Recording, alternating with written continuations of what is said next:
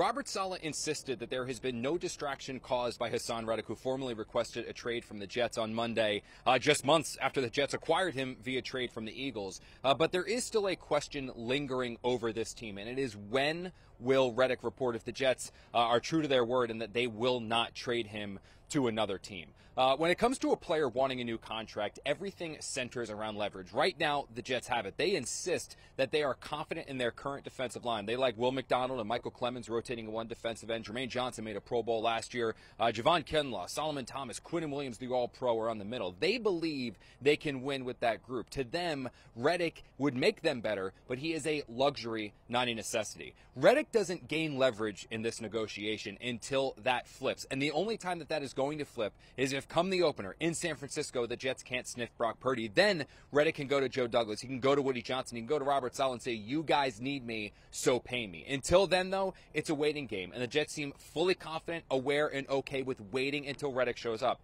Until he does, as these days go by, these preseason games pile up, they're going to continue to find him and hope that eventually he comes through. Aaron Rodgers, who spoke to the media on well, as well on Tuesday, said that he plans on reaching out to Reddick uh, to try to entice him to show back up to what he believes is going to be a special Jets season.